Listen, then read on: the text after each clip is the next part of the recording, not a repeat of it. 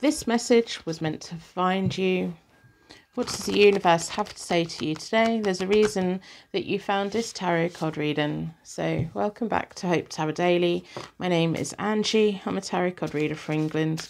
This tarot reading is between you, the universe, and your intuition. And it's up to you if you claim it or not. It is timeless, so it's relevant from the moment you come into contact with it. And welcome back. I've been in bed sick for the last week. I'm on heavy duty antibiotics. I'm feeling okay today. Yesterday was the first day where I actually thought I'm actually hungry, so I had something to eat. I've been eating little bits and pieces over the last week, but I've literally been in bed. I just couldn't do anything. Um, frantic fevers and illness and all of it. Um, so there we go. We have that. Uh, easing myself back into work. I'm self employed. I have to work. We all have to work. Absolutely. All of us are in the same boat. So the blessings card jumped out. I'm going to take that today. So I'm going to split this deck into four, four elements, four seasons, most importantly four angels, offering us of protection. So we can give and receive all of these messages with an open heart and an open mind. Financial health, I think we could all do with that at the moment with prices are rising and passion. Do what makes you feel passionate, follow your heart. Follow the thing that makes you want to get out of bed in the morning when you don't particularly want to get out of bed in the morning. Um, there's things that we have creative passion over. There's things that we can think, right, if I get all of this horrible stuff out of the way, I can then go and do this great thing that I love. If we ignite our passion in life, we open up to laws of attraction and we're just making our hearts sing and our vibration a lot higher. There could be passion between you and another person, counting your blessings. You may have to really look at your financial health right now uh, especially with everything that's going on in the world. I don't know what it's like anywhere else, but the UK, we're getting hit hard with everything. Um, yeah, so budget, prioritize, and make adjustments where you need to. And, you know, it's a good, you, you'll be okay. Um, having that sense of freedom. Our freedom is the state that we have in our mind, you know, we can be in a cage, but we can be free in that cage. Or we can be out in the middle of a field and feel trapped. Um, it's a, a state of your mind. You can be locked in a room and consume a book and be transported into a whole other world. No one can trap you. The only person that can trap you is yourself. Um, so, yeah, let yourself out find passion, make the awful jobs that we have to do worthwhile. Trust the person we need to trust the most of us is ourselves. If we can't trust ourselves, how can we trust anybody else? Because if we don't trust ourselves, how do we look at other people around us and know that they're trustworthy or not? If we trust ourselves to put boundaries around ourselves, we can make sure that no one's getting beyond them boundaries unless they earn our trust if we can't trust ourselves, there'll be people who will come in and manipulate us and say that we need to trust them. We should trust them more than we trust ourselves. Trust starts with us. If we trust we're only ever going to let the good in our life and reject the bad from our life, then we're we're doing we're going to do all right, you know. Um, yeah, it's nice. Lighten your load lighten your load. Even if things are getting tight financially, all of the things, lighten your load of delegate. If you live with other people, get them on board with doing the chores.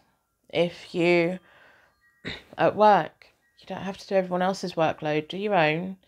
If you've got time left over, help other people by all means, but do what you need to do and make sure you leave time for passion in your life whatever that is. Maybe it's someone you love.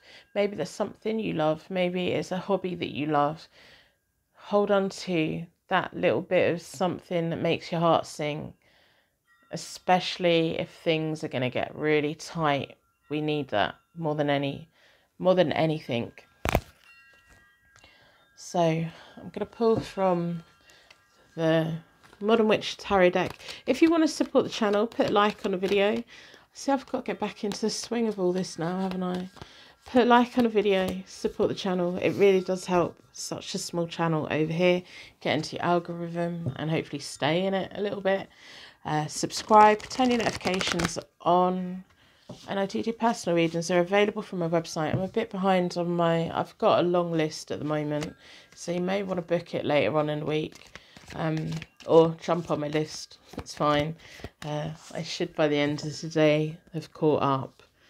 But I'm trying to ease myself back in today. So, yeah, if you want a private reading, maybe order it towards the end of the week. I'm not doing Jump the Queue at the moment. Probably won't do Jump the Queue readings for a couple of weeks. So, it's five day delivery we'll see how we get on with that.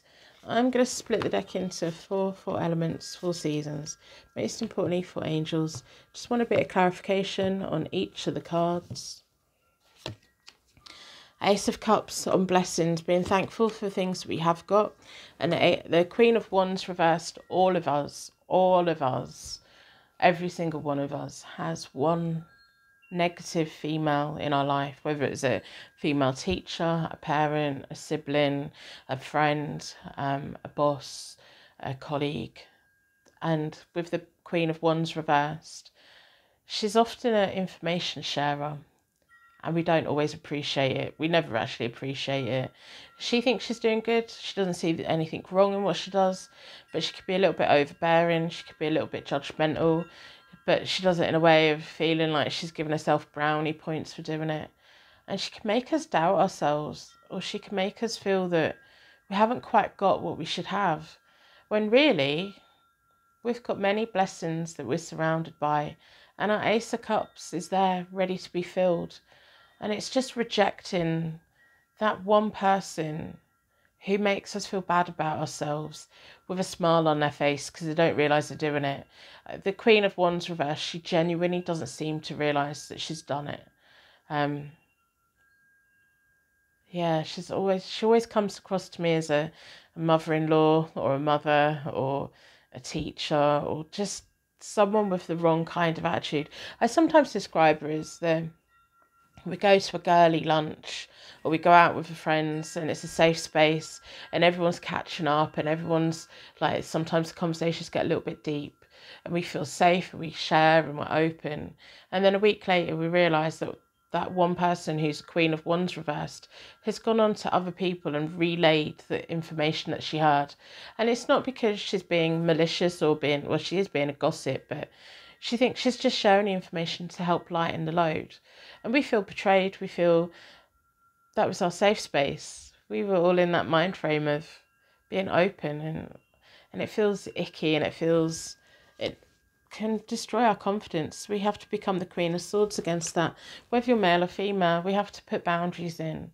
And the boundaries are coming in with financial health. Now's the time to be very blunt with yourself, very bossy with yourself, create a budget and stick to it. No more messing about, just stick to it. Whatever you want to take out of your bank, just think, I've got to clear it with the Queen of Swords. She's not going to let you clear it unless you've got a really good reason. The Six of Swords, if you spend wisely over the next however long, you're going to be moving on to a better future.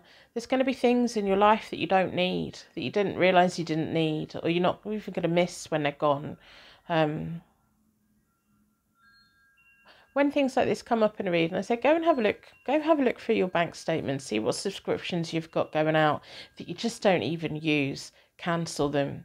If you can cancel them without, you know, having a fee like Netflix, we can opt in, opt out whenever we want if you haven't watched Netflix for a month, stop paying for it. Go and have a look. Because they're the little things that you won't miss. And sometimes it's that relieving ourselves of that subscription. We don't have the pressure then of thinking, I really need to find time to watch Netflix. No, if there's nothing on there at the moment you want to watch, end it. If you're not going to the gym, cancel your membership. Go walking instead. If you are going to the gym, if you're making use of it, keep it. But there's things on your bank statement going out you're not making use of. Go and clear that up today, and you could probably send yourself a chunk, save yourself a chunk of money. I tell you, the Seven of Swords is on passion. That's nice. The Seven of Pentacles is on passion. So the sevens are quite interesting. They're already quite the way into the journey. If we're going one to ten, they're already over the the hump. They're already over the hard time. But it's that leg of the journey is like, oh my goodness, I've still got quite a long way to go. It's like saying, right, okay, I'm going to run a 26 mile marathon. And you get to the mile 20, you've already done 20 miles, only got six miles left, but it feels like they're the longest. Not that I've ever ran a marathon. No, no intention to, but it's that last leg of the journey. It's that, are we ever going to get there? And it's the time to start looking at what what's slowing you down, what can be weeded out, what can be put away for a later date, what maneuvers do you need to now be making to benefit the future you, to make this last leg a little bit better, but also your next journey a lot, a lot easier. And it's all to do with your passion. What are you passionate about? Get rid of the things that you're not passionate about. Make life a little bit easier for yourself. The King of Swords, very nice, on freedom. Ten of Pentacles. You may have to lock yourself down and do the things that you need to do. Um, but yeah, you're going to come out over the next six months wiser. You've got the King and Queen of Swords sat here. It's having that mindset, having the mindset of no one's going to trap me, no one's going to hold me back. I'm going to do what I need to do to carry on working towards my Ten of Pentacles in life and whatever that is. Um, sometimes we just have to refine it. Sometimes we just have to go, okay, so this branch of my Ten of Pentacles I'm working towards at the moment. The other branches are on hold and they will open up at a later date. Trust in yourself, the Five of Swords. What battles are worth fighting? What do we walk away from? and having the confidence with the King of Pentacles. It's all about your confidence, your stability. It's, it's a very clear mindset. Got a lot of swords and a lot of pentacles coming out. Sometimes the swords and the pentacles kind of hold each other back. It's about having ideas, but then we have to put the action in. Now, the Queen of Wands is reversed, so the fire for it is kind of there's someone around you that makes you doubt yourself. I can see that you can do it. You've like, well, this is what I want to do, and this is all the ideas that I have, and I know that I can, but this one person keeps telling me I can't, or this negative voice within you keeps telling you you can't. Tell that negative voice to shut up. So tune out of whoever it is that's holding you back. You can do it. Can do it. On paper, it looks like it's going to work. It is working. Keep doing it. Lighten your load. The devil reversed. And the Nine of Cups, if you lighten your load, you'll be fine. If you don't give in to the temptation of that negative little voice, you're going to be fine. There's always going to be a little devil on your shoulder saying, telling you the opposite of what you're actually trying to do. Like, you're like, today I'm going to win. And the little devil in your voice is like, no, you're not. We have to drown it out. We just do. Nine of Cups, your wishes are going to be granted. Happiness, satisfaction. And you're not powerless. You have to have the confidence you just do. You just got to have the confidence. And whoever the Queen of Wands is probably linked to the devil reversed. They make you feel frustrated. Use that frustration to benefit you, to be that fire, to work towards whatever it is you're working towards because it feels like you're on a path to something great. Don't let the devil and the Queen of Wands reversed hold you back. Absolutely not.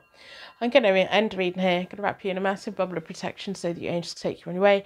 If you claim the reading, let me know. I really like it when people say, hey, I think this reading was for me. That's nice. If you want to put a purple heart in the comments, put a purple heart in the comments. Helps with engagement. But also, lets other people know that you also made it to the end of the reading. So well done. If you'd like me to put a card for you, when I get round to it. Request to put a card in the comments. I will have a little shuffle. I'll tell you what card I got. It may make sense, it may not. It is what it is. Private readings are available from my website. Just don't order them yet. Order them next at the end of the week or next week. Oh, it's mayhem. Happy Monday. I will see you soon.